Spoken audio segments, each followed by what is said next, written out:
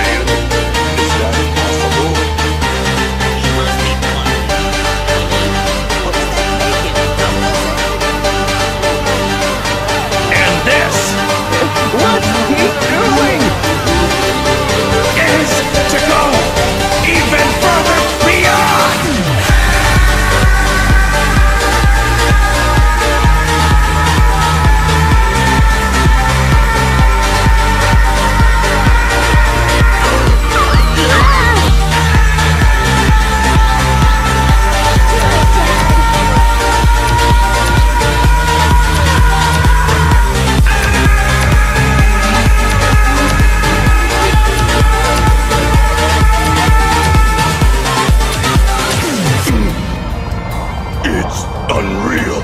How is he generating that much power?